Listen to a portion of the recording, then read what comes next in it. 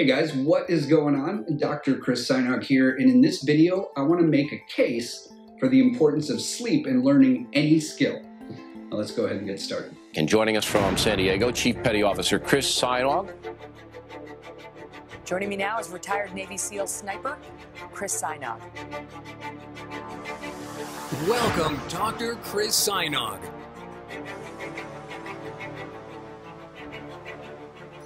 When I first started teaching people to shoot online, I quickly learned the importance of how we learn.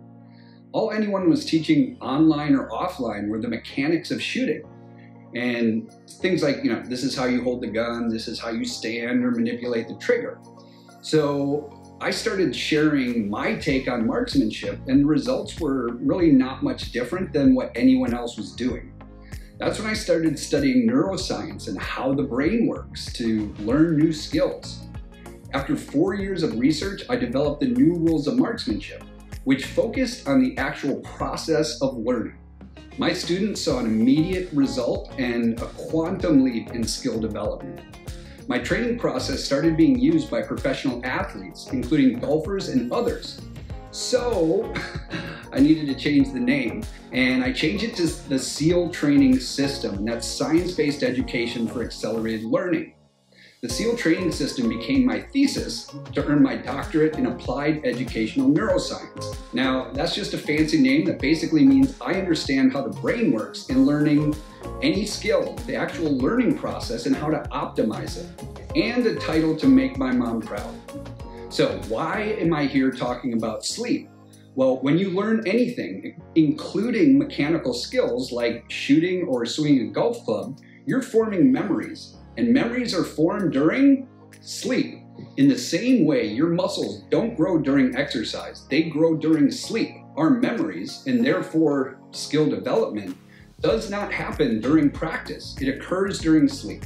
Without a good night's sleep, our muscles don't get a chance to repair and grow, and our brains don't get the opportunity to consolidate memories. Unfortunately, sleep is often an afterthought. We focus all the time on practicing a skill without understanding that without a good night's sleep, that's wasted time. For years, scientists like myself have known the importance of sleep on declarative memory, which is the knowledge of fact-based information or what we know. For example, the planets in the solar system or the airspeed velocity of an unladen swallow. Stop! What is your name? It is Arthur, King of the Britons. What is your quest? To seek the Holy Grail. What is the airspeed velocity of an unladen swallow? What do you mean? An African or European swallow? I, I don't know that.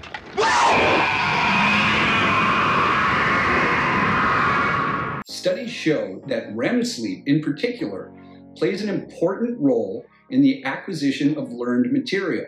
We also found out that deep, slow wave restorative sleep also plays a significant role in declarative memory by processing and consolidating new acquired information. Only recently, we learned that deep sleep plays a significant role in the ability to learn new skills that require motor coordination and performance. This is called procedural memory, the remembering of how to do something. For example, swinging a golf club or pulling a trigger without disturbing the sights. Once again, REM plays a vital role in the consolidation of procedural memory. Other aspects of sleep also play a role in procedural memory. Motor learning seems to depend on the quantity of lighter stages of sleep. In contrast, certain types of visual learning seem to rely on the amount and timing of both deep sleep and REM sleep. So here's what it all boils down to. Lack of sleep has a negative effect on memory. It's harder for a sleep-deprived brain to focus, so it's harder to remember new things. Poor sleep can also make it harder to form long-term memories. In fact, you forget up to 75% of what you learned the day before by not getting enough sleep.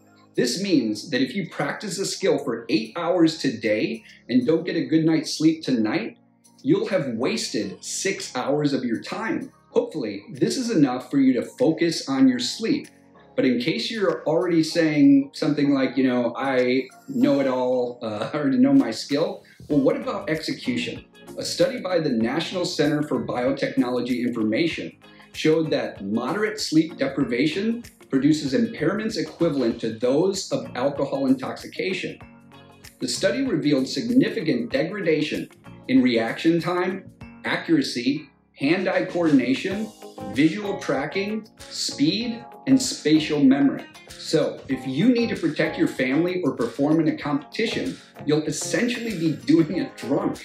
Assuming you don't want to waste your training time or face any of life's challenges while inebriated, I've come up with a few simple and scientifically proven ways to optimize your sleep.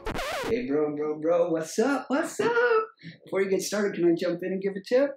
Uh, what are you doing here? I'm trying to shoot a video. Yeah, yeah. I know, I know. That's why I'm here. You're about to share tips on sleep and stuff like that, and and I wanted to help out. Um, can I give a tip, please? I know you're like a doctor, but it's the sponsor of this video. Okay, fine. Just just make it quick. Yes, thanks, bro. You're the best. Wow. Just keep your robe on this time. Everyone, this is my brother. Hey, hey, everyone all right, so the good doctor here understands all the, you know, brain electrical stuff and how it all works and all that and how, how supposedly our brains operate on electricity. And, you know, well, it's not supposedly. Oh. And every cell in our bodies conducts electrical currents. In fact, every cell in our bodies is built from atoms consisting of protons, neutrons, and electrons. All right, Mr. Big Brain. But these electron currents, they can be negatively affected by ELOs. Uh, I think you mean EMFs because uh, those are electromagnetic fields and ELO is a band. Oh, yeah, that makes a lot more sense. I thought it would be strange to constantly be bombarded by. Yeah, that, uh, that would be strange. Yeah. Listen, you said this would be short, so what's your tip? Okay okay let's just get right to it okay so so because we're constantly being bombarded by elos or emfs from our cell phones and bluetooth and electrical devices around us and because these emfs affect our body's ability to send electrical signals and therefore to be able to sleep uh, I wanted to share our secret weapon on these EMFs, the Harmoni uh, That's a good one. Yeah. I know I've slept better since I started wearing them, and I also noticed that my heart rate variability almost instantly doubled. So, good one, bro. Oh, hey, thanks a lot. You want me to stick around? Uh, no, I think I got this. All right, fine. Hey, make sure you tell them to click on the link in the description below, and they can learn more about the Harmoni Pendant. Fine, just leave. Click the link in the description below the video to learn more about the Harmoni Pendant. Now, for my tips for a good night's sleep. Number one, if you do nothing else, go to bed and wake up at the same time every day. If you're not doing this, I guarantee it will completely change your life. Next up is to take control of your light. You need to sleep in a completely dark environment. Get blackout drapes, tape over those any little lights on small electrical devices, or better yet, take them out of your bedroom. Controlling the light also includes increasing bright light exposure during the day. I've got a Joovv red light device that I sit in front of as soon as I wake up every morning, but you can also just walk outside and get some sunlight. It's also important to reduce blue light exposure in the evening. Exposure from blue light from your phone or TV can stop your body's production of melatonin for up to 90 minutes. That's why we wear these FDA registered blue light blocking glasses when the sun goes down. Hey, how did you get back in here? Oh, I, I know the combo. Yeah, you gave it to me. Hey, you gonna talk about the cold? Yes, that's my last tip. Oh, Please cool. go home. All right, all right. See you, bro. See ya.